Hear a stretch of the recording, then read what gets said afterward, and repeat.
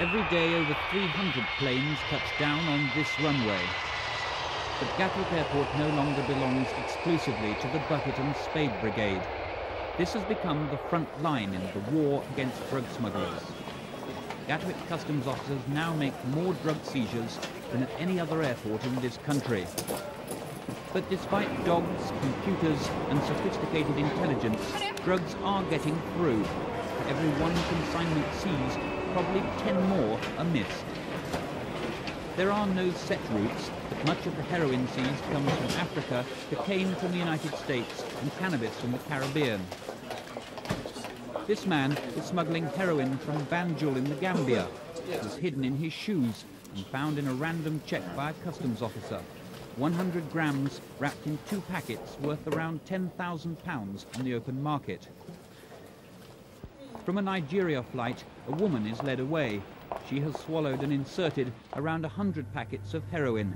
Each shows up on an x-ray as a light round circle. The woman refuses to be examined by a doctor or take a laxative, so she is put in a cell while officers wait for nature to take its course. After several hours, the woman says she wants to go to the lavatory, and some of the heroin starts to emerge.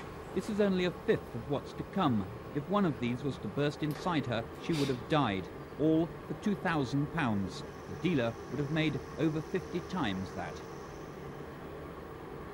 Customs officers call the Lagos flight the Banzai Run. Stuffers and swallowers, as they're known, usually travel in twos or threes in the hope that one will get through.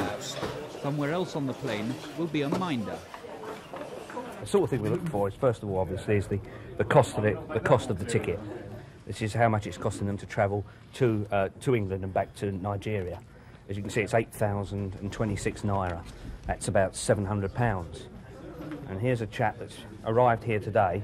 His passport, when you look back, says that in the last year he's been here 12 times. Cannabis smuggling has become a fine art. This x-ray machine is a quick way of checking if things are what they seem. This man is arrested when officers find a tin that definitely isn't. This is a professional concealment made on a production line in Jamaica. Tins emptied and repacked, in this case with around 800 pounds worth of herbal cannabis. On another flight, four more tins. The officer was suspicious because one said orange juice, who he said would want to bring in one tin of orange juice. This woman is not breaking the law, but customs officers had to check to be sure. So that's the X-ray machine, yeah. just in case there's anything in there.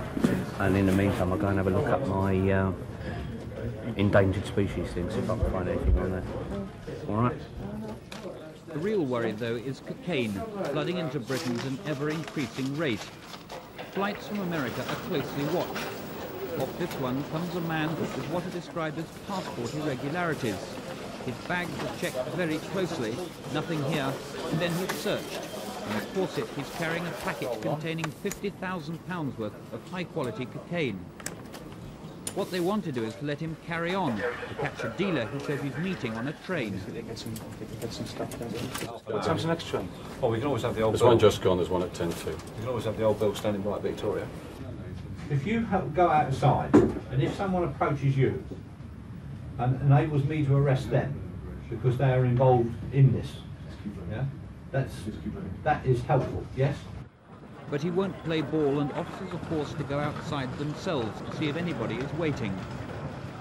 Can you tell us what happened out there? Yeah, there were no no takers. We put out a couple of tannoy calls for his name, person's meeting him, and no response. So, There were a couple of people you were interested in the crowd with it. Did they Well, disappear or something? well, we went and challenged a couple of others just to see if they were meeting, but nothing at all. The loss of one courier and his consignment is unlikely to cause the drug dealers much pain.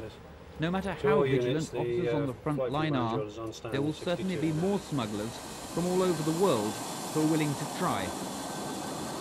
Many will get through. Robin White, News at 10, Gatwick Airport.